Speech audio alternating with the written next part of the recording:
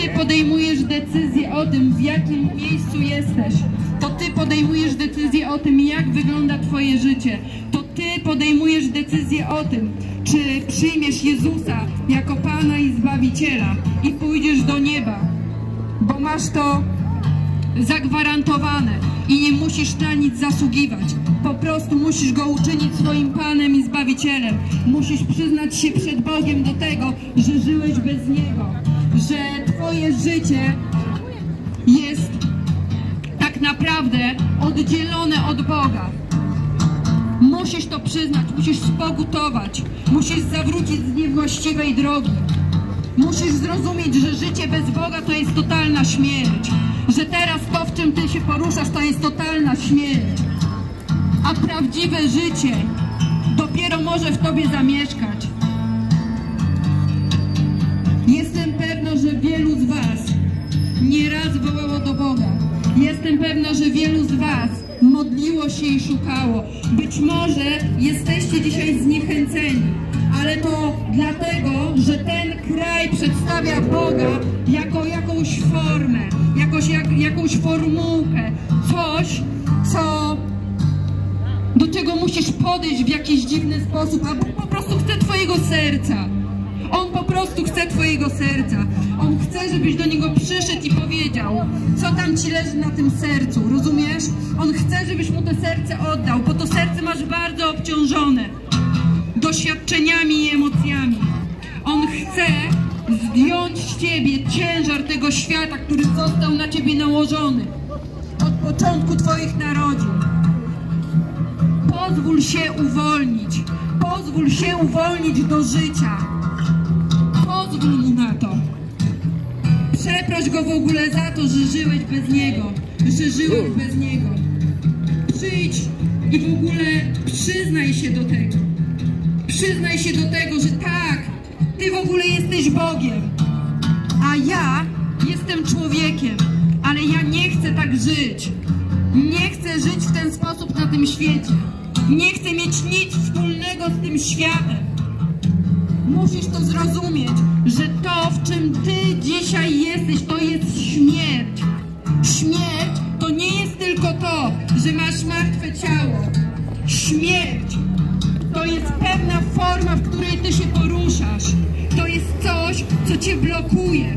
To jest coś, co cię zamartwia. To jest śmierć. Grzech to śmierć. Skoro Jezus wziął na siebie każdy grzech, bo tak mówi Słowo Boże, każdy grzech, to ty dzisiaj nie musisz tego już dźwigać. To jest w ogóle dobry deal. Dlaczego wy przechodzicie obojętnie, kiedy mówię do was o Jezusie? Dlaczego wy przechodzicie obojętnie?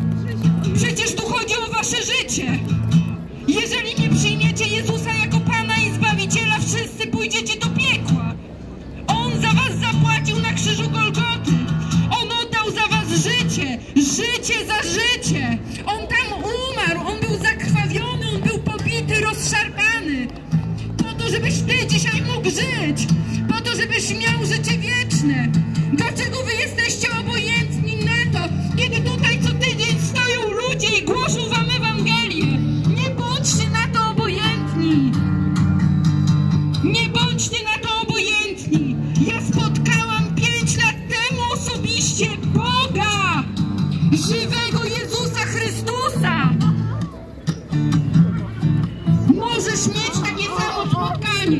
Możesz czuć się zaakceptowana. Nie musisz latać za facetami. Nie musisz.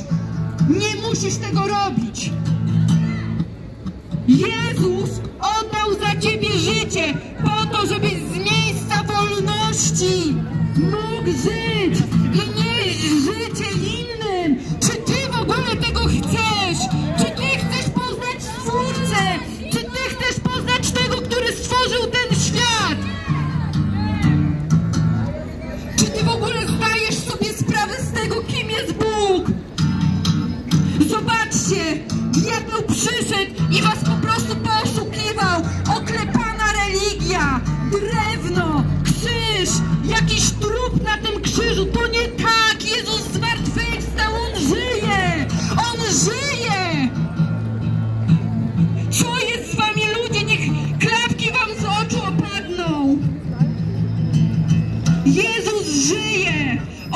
mieszka we mnie, jeżeli na coś chorujesz, jeżeli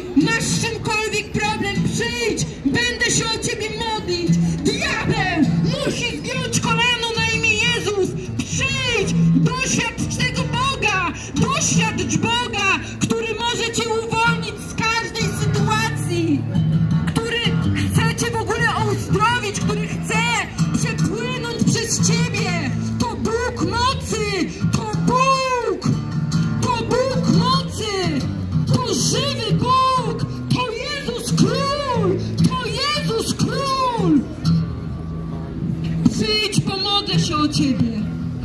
Nie bój się, nie bój się. Jeżeli chorujesz, chcę się dzisiaj o ciebie modlić, bo chcę, żebyś był zdrowy, chcę, żebyś była zdrowa. Mam to na sercu, mam to na sercu. Chcę widzieć ludzi prawdziwie wolnych, bo Jezus jest Bogiem ludzi wolnych. Taki jest Jezus.